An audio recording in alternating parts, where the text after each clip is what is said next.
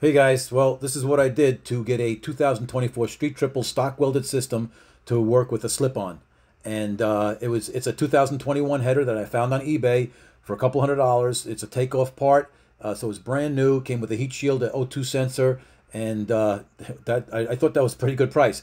And then the system, uh, the slip-on system was a Yoshimura. It was a $650, so roughly 850 plus dollars.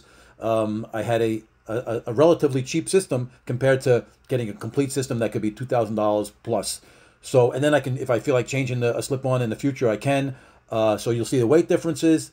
Uh, it was very easy to put on. Took me about 40 minutes, but I'll explain that in the video.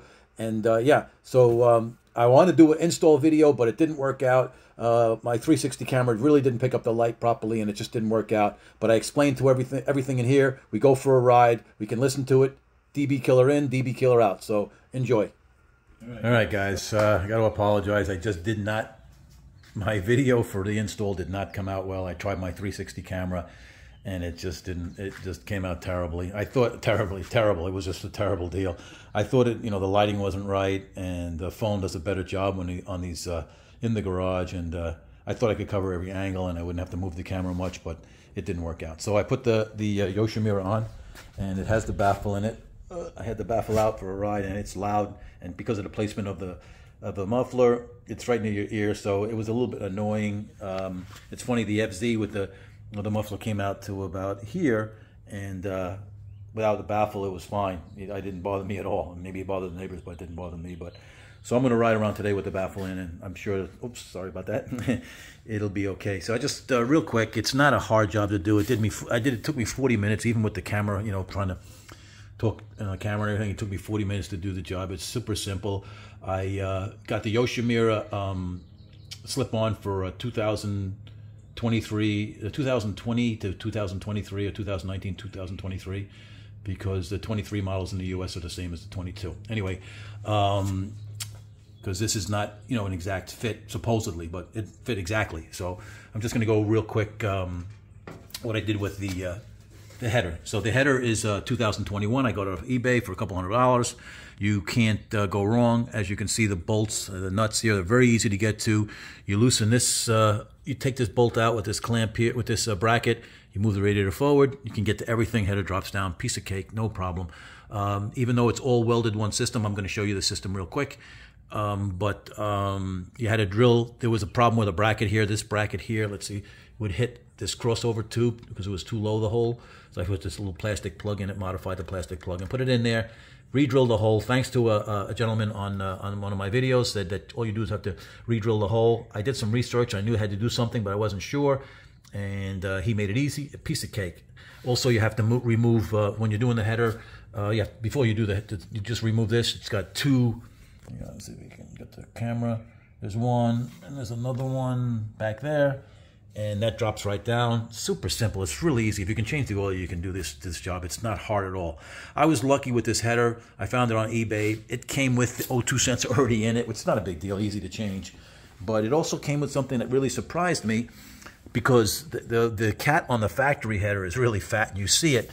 It's hard to see it because you're leaning the bike this way all the time because of the kickstand, but you do see it. Well, he included, I got to thank this gentleman when I go on eBay to give him feedback, he included the uh, heat shield. I guess it's called the heat shield, and it just looks very factory-like. I mean, it looks more factory-like than the the 2024 model because you get to see this big old fat uh, catalytic converter, which is much bigger in diameter than uh, the 2023, uh, 2022s, 21s, 23s.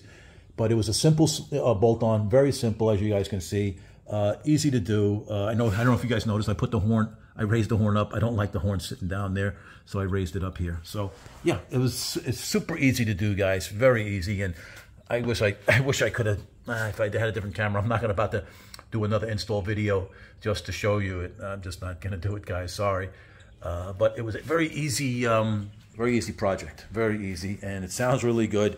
It's loud with the. Uh, I'm going to go for a ride and show you, and I, am going to throw a real quick clip in of it without the uh, uh, DB killer, and uh, and then I'm going to ride around today and see how it is. Hopefully the mic will pick it up. But we're going to just pan over here real quick to where the old exhaust is. Let me just move some of this junk out of the way. Uh, and so yeah, this is just the diameter. This is just huge. And you see this from underneath. and um, but uh, as you can see, it's just I'm just trying to focus a little bit. I got it on my shelf here, but it's it was easy to do it. But it's all one piece, guys. It's just all one piece. So oh, batteries in the way.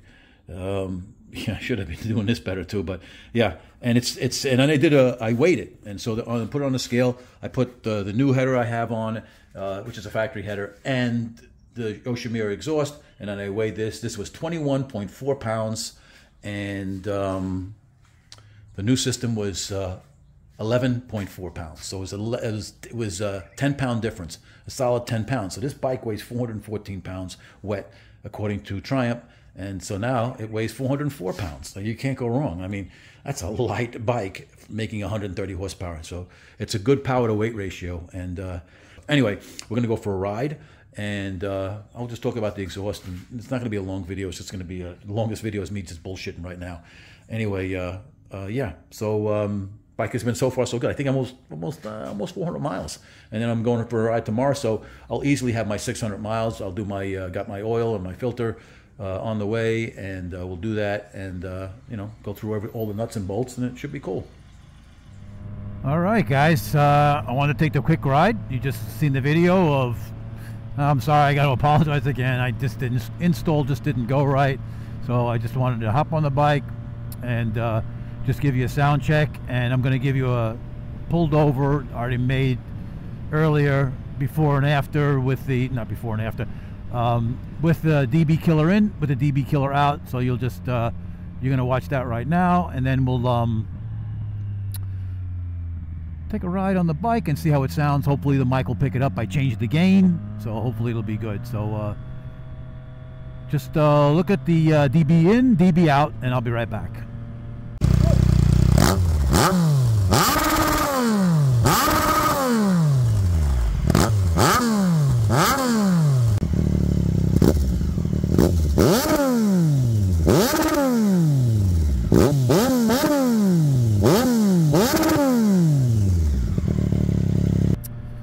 Yeah so uh, you see how it sounds now. It may not sound like a big difference but it's a huge difference. It's a huge difference in riding because where the muffler is on the bike uh, it's like just right below my head so you hear a lot of it so I'm gonna use the DB uh, killer it's just uh, it's it's loud so but this is not too bad so yeah a little downshift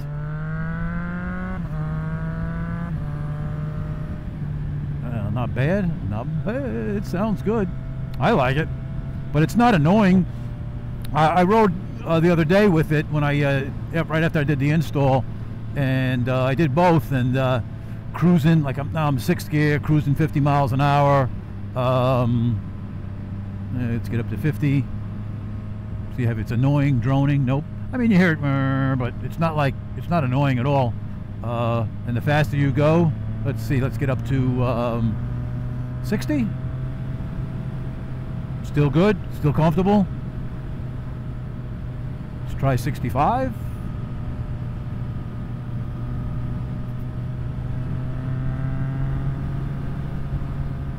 Not a problem. 70. 70 is the nicest. It seems like it likes to be at that 55 to 6,000 RPM range where the bike is the smoothest. Oh, which is that's cool. Let's see what we get. We'll do it right here.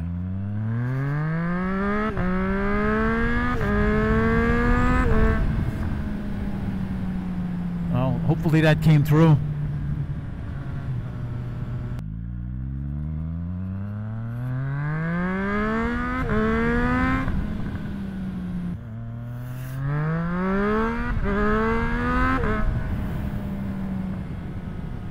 All right, guys. Um, yeah, one more hit, and then we'll call it a a night.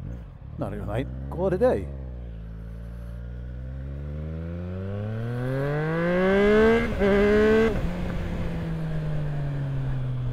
Yeah, it sounds good.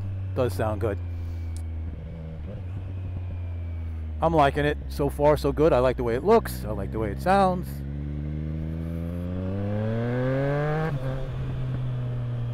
Got the cracklies here and there, but all right, guys. So I'll be back. I'll be back soon. Um, I'm going with my buddies um, tomorrow. Going for a ride. I'll have the camera with me. Hope something exciting happens, and uh, we'll do another video. I'm going to take the uh, the Triumph, and uh, uh, they're excited to see my buddies. So hopefully uh, we'll switch bikes, and uh, they can let me know what they think of the bike. But uh, yeah, all right. Again, guys, apologize. I wanted to do that install video. I'm just not that. Uh, I just didn't have it set up right. But uh, maybe when we do the oil change, I'll be able to do a better job. So, all right, guys, we'll be back later.